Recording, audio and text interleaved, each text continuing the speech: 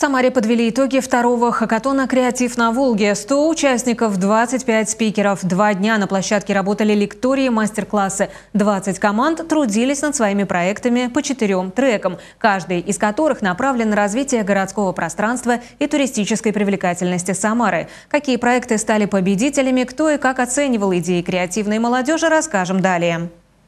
100 участников, 20 команд, 4 трека и много нестандартных решений. В течение двух дней на площадке хакатона «Креатив на Волге» команды готовили проекты и учились новому. Все те семинары, которые проходят, э, лекции, презентации, это большое количество э, материала информационного, который все те, кто пришел на фестиваль, все, кто участвует в «Креатив на Волге», они его получат.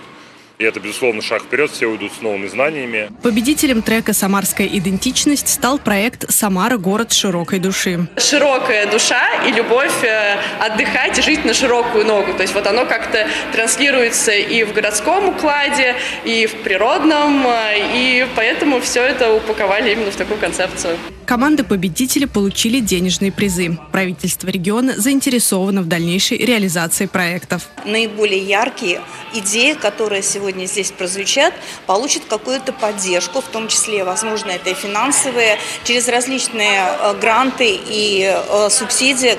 В планах организаторов хакатона выйти на федеральный уровень. Галина Топилина, Николай Епифанов. События.